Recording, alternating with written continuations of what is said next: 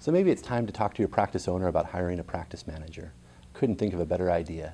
Let me give you some ammunition though that you can go to him or her and maybe talk, talk things over.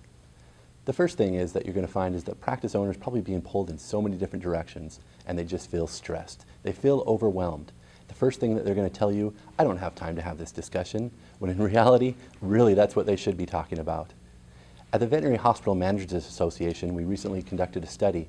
We asked practice owners, we asked veterinarians, we asked practice managers, what's keeping you up at night? Overwhelmingly, we found the idea of profitability, cash flow, and client relations were some of the top reasons that were keeping these people up at night. So that's exactly what your manager is going to be able to come in and do for you. Alleviate some of these concerns and give you more time to do what you do best, taking care of those patients.